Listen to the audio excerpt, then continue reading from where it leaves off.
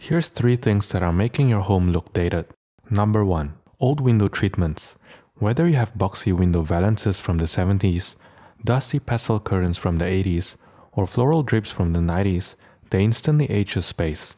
Replace them with simpler light and airy alternatives that are hung high and wide to filter soft natural light. Dated kitchen splashbacks, countertops, and cabinets.